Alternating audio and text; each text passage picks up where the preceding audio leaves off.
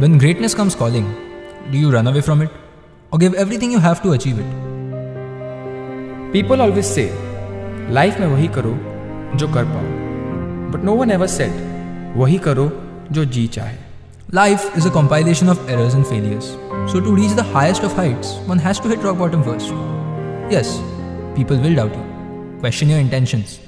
Try to put you down, but remember, when no one believes in you, believe in yourself and your dreams. Life will hit you repeatedly from all directions. So, get up and start fighting. There are no limits to what you can achieve. except the limits you place on your own thinking. Life is short, so don't let yesterday take up too much of today Do what you want. because you are the master of your own life. Rather than becoming what they want you to be, be someone who you want to become. Always remember, Even, the sky has a limit, but, but you, you don't.